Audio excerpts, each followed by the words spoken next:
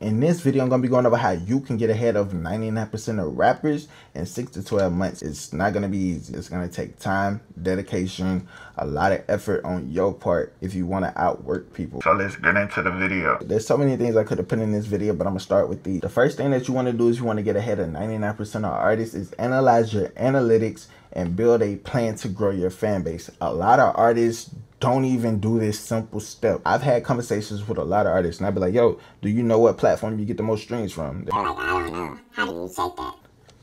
Like Spotify for artists, Apple Music for artists. Like you can check SoundCloud. If you play for the premium, you can check to see where the streams come from. YouTube, you can see where the views come from. You can see all this data on Instagram. You can see where your followers are from what times they're active. You can see all of this data, but a lot of artists overlook it and it's so simple. Because how are you going to market yourself, run targeted ads to grow your fan base if you don't know your target demo that's receptive to your art? It helps you to know if you got a fan base ranging between 18 to 24 and that's prevalent in Houston, Miami, and LA. That's to help you to decide where you need to run those ads versus trying to just throw shit at the wall and see what sticks, right? You might be running ads in New York and you don't have no traction in New York. I understand you want to try to spread the traction out and grow fans from everywhere, but if you got traction in Dallas, Houston, Miami, and LA, I would focus on those four cities or just narrow it down to three. I would target it down to those three and run ads in those three cities to try to build up those cities because I already got some type of traction there. I'm telling you, a lot of artists do not look at their analytics. They post music and get offline. They post a picture, don't look at it. They never look at the data. Listen, if you want to get ahead of other artists, see what your data says because chances are they're not even paying attention to the data. They're just posting music posting whatever and that's just it right? They probably not even trying to put a plan together. They don't even know what their potential fan or their target demo or their ideal fan looks like what their interests are. If you can figure that out you can win because you know what songs to make, when to drop, how to present it to those people. Tip number two is the easiest, but it's the hardest thing to do. And that is to create a content schedule and actually post the content that's on your schedule. A lot of artists feel like they don't have to make content, but you got to understand you have to make content. The music is not enough to get you there. You have to show your personality. You got to figure out what you're going to do. How many times are you going to post on your Instagram story a day? Are you going to post one reel a day, two stories a day? Are you going to respond to a certain amount of comments today? Are you going to reach out to potential fans, potential artists to collab with, producers, videographers, um, blog owners, what are you going to do? You need to figure out like a schedule on what you're going to do. Are you going to post on TikTok on Tuesdays? Are you going to go live on Instagram on Wednesdays? Are you to post a YouTube video or anything like on Thursdays? Like, what are you to do on Sundays? Are you to record on Saturdays? You need to figure out how you're to record the content, how you're to make the content, when you're to post the content you gotta create a schedule because this is gonna help you develop consistency because a lot of artists are not consistent. A lot of artists won't do this because it's easy to talk about things, right? Definitely easy to talk. It's definitely easy to be like, I'm gonna do this on Tuesday, then Tuesday comes and you're not prepared. you know what I'm saying? So it's like create a schedule and hold yourself accountable for posting and actually following through on what you're doing. Because if you're always doing something, you're to develop a habit of getting used to doing things that's to be beneficial to your career. And keyword, you want to do things that are beneficial to your career. Don't just be doing things for the fuck of doing things. They have to have a purpose. They have to have a reason behind it. Especially if you want to get ahead of 99% of your competition. Tip number three. If your music is good, the mixing is good, this is what you need to do. You need to watch marketing videos and branding videos on how to brand yourself, establish a brand, build a brand market yourself. Because at the end of the day no matter how good the music is it can't go nowhere if you don't know how to market it correctly. And this goes back to learning your analytics. That's why that's so important. But this tip right here is going to help you learn like when to post how to post the aesthetic what colors work with what you got, what you wear, all of this stuff, how you present yourself. Are you going to be the introverted, mysterious person? Are you going to be the outgoing person? Like, what are you going to flex? What are you going to show? Are you the person that's into music, basketball, and art? Like, find a way to fuse all three of those together. And now you can kind of like pull people from different avenues back to you because at the end of the day, you're the product. You got to sell you. You know what I'm saying? The music is marketing the posting is marketing. Like if you're in the like food and stuff like that, you can go record yourself eating at food spots. Try to record songs in the food spots. Get your songs played in these spots. Like go to these places and network with these people. That's gonna be beneficial to you.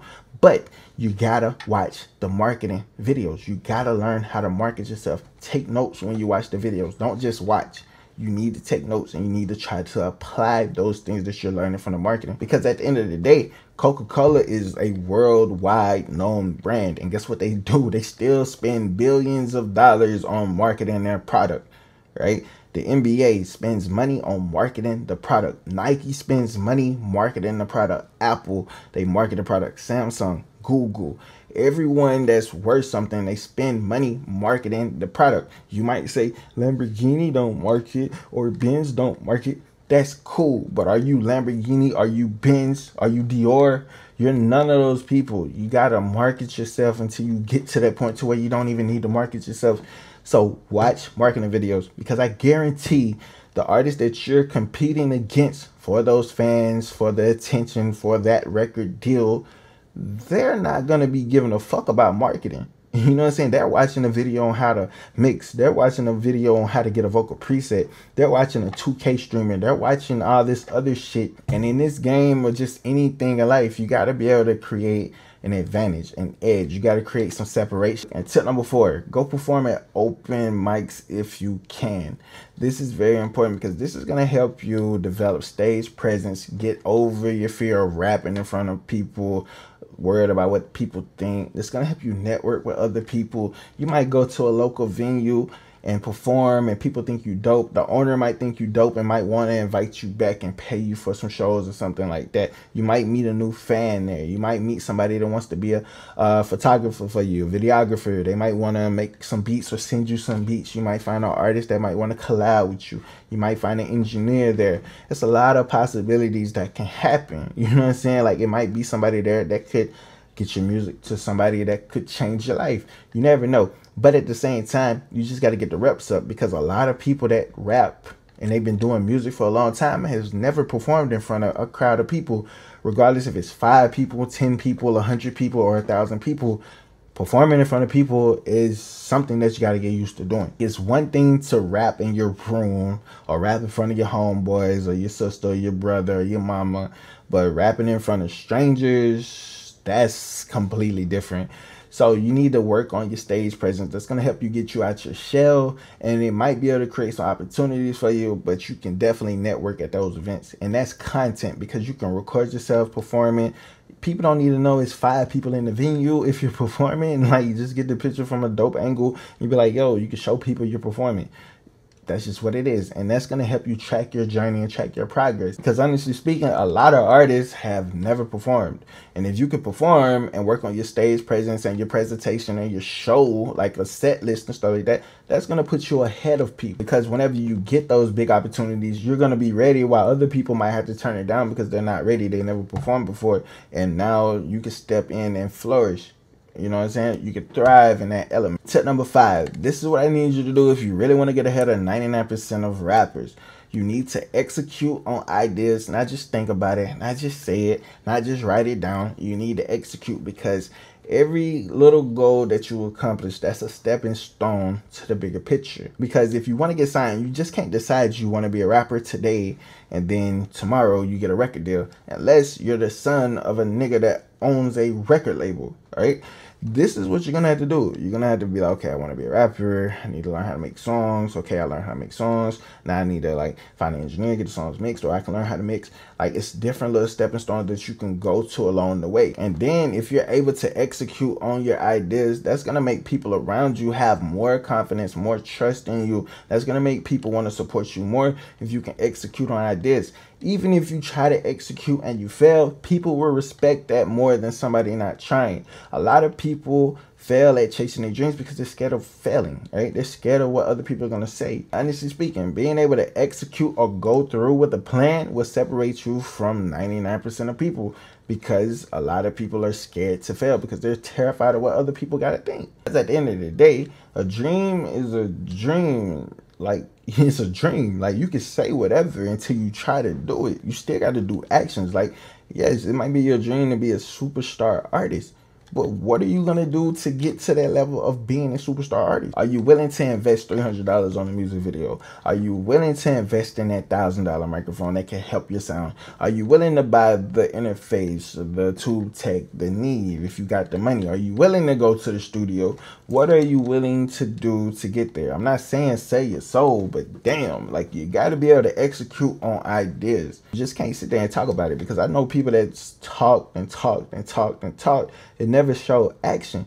They're just talking. And people don't take people serious. They just talk a lot, right? It's hard to believe in people that just talk. Tip number six, you need to engage with people that follow you on social media, that interact with you, comment, whatever. Like you need to engage with those people because if you made it clear from the jump that you're an artist and somebody follows you and they reached out because they're like, yo, I like your music, right? Or if somebody randomly follows you and they never hit you up, you should go follow their page and see if they do music. If they don't do music, chances are they probably found you through your music or something similar, right? So you should hit that person up, introduce yourself, tell them who you are, whatever. Be like, yo, I'm curious, like, what made you follow me? And if that person be like, yo, I saw a song, I watched a YouTube video, I thought you was dope, so I decided to follow you. They might make beats, they might do graphic art, they might just be a fan.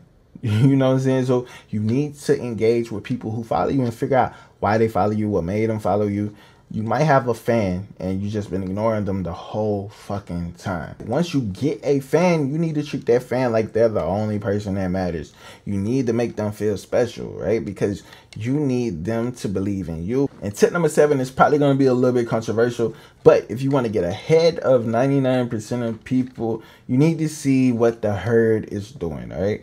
See what the herd is doing whatever the masses, the herd, whatever people's doing over there. Like if everyone over there is rapping on Yeat beats, using Yeat's vocal preset in FL Studio, walking like, talking like, dressing like, doing the same thing, what you need to do, if they're here, you need to go over here, right? You need to go over here. You need to be different.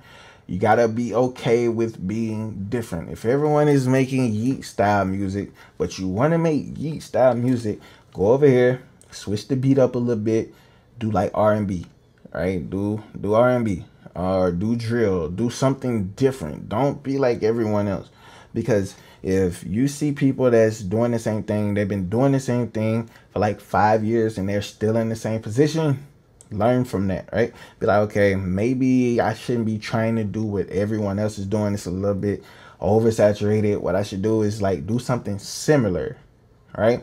but tweak it, put my twist on it, be unique so I could be the leader of, of something new. Think about it. Like really, really, really think about it, right? Domino's sells pizza, Pizza Hut sells pizza. Right? At the end of the day, it's pizza. Okay? Follow me. Like really follow me. I'm going somewhere with this. You go to Pizza Hut because their pizza tastes a certain way.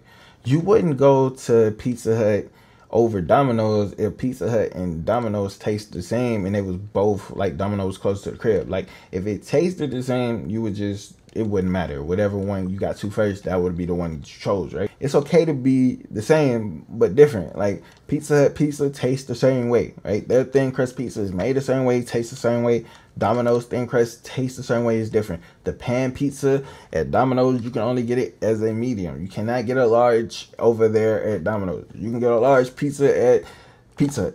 You know what I'm saying? Large pan pizza over there, right? It's differences, right? The cheese sticks at Pizza Hut are different. The cheesy bread at Domino's is completely different, but at the same time, they're like the same thing, but they're different. One sells Coke products, the other one sells Pepsi. Down there, same drinks, but different. you know what I'm saying? It's okay. Like, if you can't be like Yeat and all these thousands of other people over here trying to be like Yeat, okay, okay, be like, okay, Yeat has these certain elements. I like these elements. I need to put them over here, and this can be me. This can be unique. All right. Travis Scott is over here. Don Toliver's over here. They're somewhere in the middle. They have similarities, but there's enough differences between the two to where Don Toliver is not just a blatant copy of a Travis Scott, and people can like Travis Scott and people can like Don Toliver because they do two different things. All right, production might be similar, vocal performances might be similar, but the overall messaging, the way they present it is different. So take that information and do whatever you want to do with that. But listen, I challenge you to lock in, figure out what you want to do with this music shit, and try to spend the next six to 12 months to take a big leap in your career. Whether you've been doing music six months, a year, five years, a decade. If you have been doing music and you feel like you haven't been getting where you feel like you're being stuck, try to do some of the things I talked about in the video, and hopefully you'll be in a different spot next year.